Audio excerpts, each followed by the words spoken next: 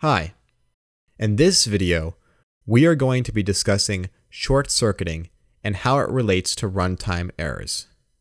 In order to understand short-circuiting, let's first take a look at two Boolean operators. The AND AND operator means AND, such that both sides of the condition must be true. The OR OR operator means OR, such that only one side of the condition must be true. In both instances, these operators short circuit, meaning that they don't evaluate the right hand side operand if it isn't necessary. Now, consider this example x equals 0, y equals 3.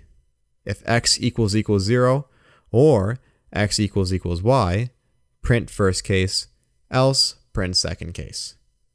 The code would print first case because the statement x equals equals 0 returns true, and in any OR OR operation, only one side of the condition must be true. In this example, the OR OR operator short circuits, causing the right hand side operand x equals equals y to not be evaluated. This is because when Java's OR OR operator encounters this code, it first evaluates x equals equals 0, which we just determined returns true. Then, it realizes that the condition x equals equals 0 or whatever must be true, regardless of what the whatever statement is. Even if whatever is false, the whole condition will still return true. We can generalize this behavior to say that when dealing with the OR OR operator, true or anything will always be true, and thus the right hand side operand is not evaluated. Let's take a look at another example. x equals 0, y equals 3. If x equals equals 5 and x times y equals equals 0, print first case, else print second case. In this instance, the code would print second case because the statement x equals equals 5 returns false, and in any and and operation, both sides of the condition must be true.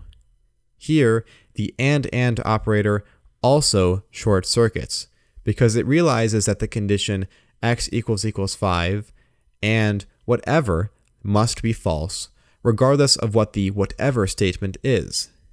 Even if whatever is true, the whole condition will still return false. So, we can generalize this behavior to say that false and anything will always be false, and thus the right hand side operand is not evaluated. So, why is this concept useful? Well, short circuiting can be used to prevent runtime errors. For example, x equals 5, y equals 0, if x equals equals 5, or x divided by y equals equals 5, print first case, else print second case. When x equals equals 5 returns true, the OR OR operator stops evaluation. This is good because we avoided the operation x divided by y, which would cause a runtime error by dividing by 0. While this is a very simplistic example, short circuiting is very functional in preventing various runtime errors, such as null pointer exceptions and dividing by zero. To summarize, short circuiting means not evaluating the right hand side operand if it isn't necessary.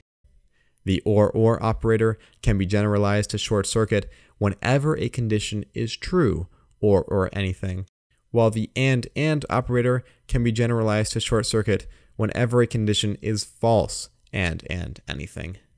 Finally, with this information, we can prevent runtime errors within our code. Thanks for watching.